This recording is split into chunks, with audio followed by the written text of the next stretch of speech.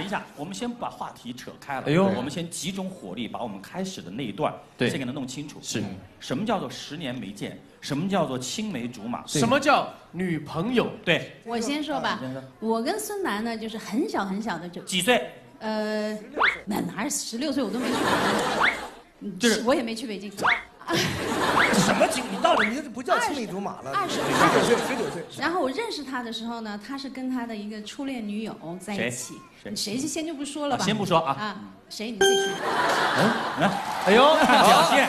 我先说旁边聊一下。然后我们后呢，特别好，天天玩在一起。后来他们就就分手了。嗯然后我就特别恨孙楠，嗯，他他跟他女朋友分手，你恨？因为我跟他女朋友是闺蜜啊，我就不理他了，我就特别恨他。等等我们讲的是同一个吗？对啊，好，继续。同一个，同一个，哇！哎呀啊，OK，完了我我的版本好，为什么没见等？一下啊，等一下，各位出事儿了。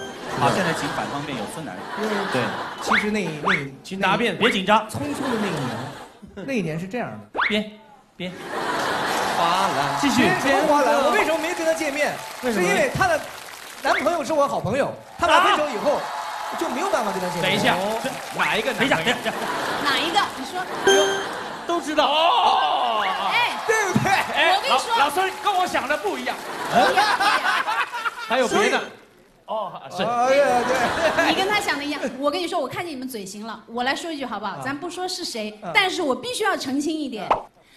孙楠跟我的所谓的那个男朋友和我跟孙楠的这个女朋友的关系绝对不一般 复杂了。，太复杂了。说绕口令，你给我绕口令我跟。他的，我跟他的前绝对是哥闺蜜，我跟他但是她我我跟她前男朋友也是闺蜜。没有，就关系一般嘛，我觉得你们。出事儿了，出事儿了，各位，这个节目就我跟你讲，如果是大爆尿没有没有这，个节目一点都不花一个如果你没来，他今天就来了，你们关系这么好啊？一直就这么好啊。人间有真情，人间有真爱。是你的前男，算了吧。这位问号人物，对，都是一家人，就算了。我真的，我昨天还跟你前女友一起吃饭呢。对啊，我前天还跟你前男朋友一块通过电话。你们俩是好朋友吗？是啊在干嘛呢？这哎，你们俩真的算是就是二十岁还不到就在一起认识认识了，认识了认识了，但是我们就是呃关系比较密切的那一段，其实是，是咱是一个唱片公司吧？这都有疑问呢。因为时间太久太太久了。了。